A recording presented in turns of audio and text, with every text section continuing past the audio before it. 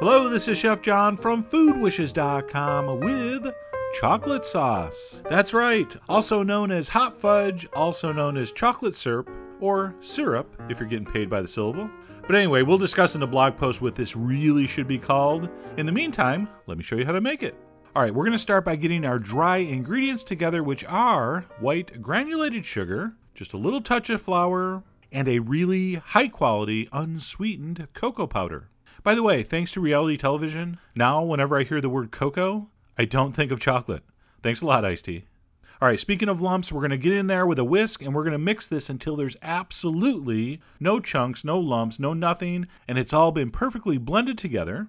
And then it's on to the wet ingredients. And for those, we're going to need some milk in a saucepan over medium heat. We're going to throw in a chunk of butter and a little bit of vanilla and we're just going to wait until the butter melts. All right. And as soon as the butter melts, that mixture is going to be hot enough for you to whisk in your dry ingredients. So you got your whisk in one hand, I don't care which one, and your dry ingredients in the other, and you're just going to sprinkle it in a little at a time, mixing it in, mixing it in, and you should have no problems with any kind of lumps or any other issues, except you might get a little bit of cocoa dust coming up, but that's okay.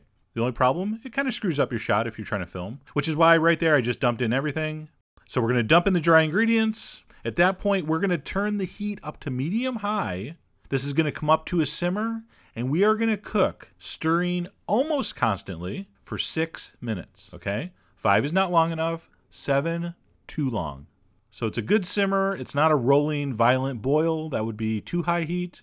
Now I stir pretty much constantly, but I am stopping a few times here to show you what it should look like, and that's what it should look like. All right, it's going to thicken up. So you want it to look something like that. And after the six minutes, you're pretty much done. All right, turn off the heat. If you want to add just a little bit of salt to this, I really think it does bring out the chocolate flavor very nicely. So I'm going to whisk that in. I'm going to give this one final vigorous stir, and that chocolate sauce is done and ready for Good guess. We're going to put this over some ice cream. Of course, you can pour this into some airtight containers and keep that in the fridge. I'm sure it keeps a long time. How long exactly? I have no idea. What do I look like? Some kind of chocolate sauce life expectancy expert? Actually, I do kind of look like one of those. But I have a feeling that's not going to be a problem. You will probably use this up quickly. If you put it over ice cream when it's hot, you can call it hot fudge, but it's really technically not hot fudge, which is actually melted fudge that turns back into fudge when it gets cold on your ice cream.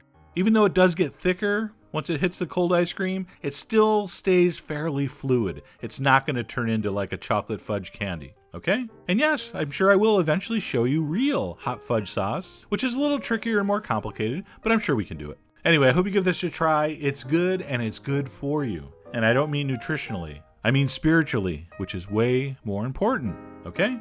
Head over to foodwishes.com for all the ingredient amounts and more info as usual. And as always, Enjoy.